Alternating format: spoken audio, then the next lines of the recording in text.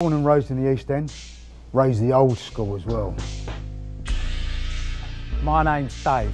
When I got out of the army, I went straight into being a bouncer for raves. Used to get a little bit of trouble, but we should just put them on the right path and everything was sorted out. I won't tell you how. My name's Mark. People look at me, see a rough character, the way I'm built, how big I am, with my tattoos, my gold teeth. And I'm a tough character. And where I grew up was a pretty rough estate. Probably some of you out there won't be able to handle it. Nice big love art for the art, for a lovely woman. Butterflies to go with the roses. Yeah, I want it to shine.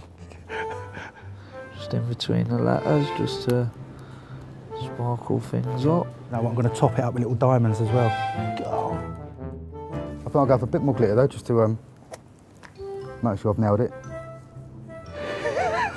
I like pink. You buy flowers for someone you love, and they, I just think they rep it. They're nice. Mum, I've done this, not the kids, me. A Mother's Day card. I made you a card. Oh, what? Oh, bless you. Put a lot of effort into that. you Yeah, see. you are. it'd be Beautiful. something. That's it. oh, come a bit loose there, though. Look, love. Come a bit loose there. What am I going to do with it? Where am I going to put it now? Some butterflies on there. And My then favourite you can colour. hang, hang it up Yeah. like that. I I love knew you it. would. Ah, kiss, kiss.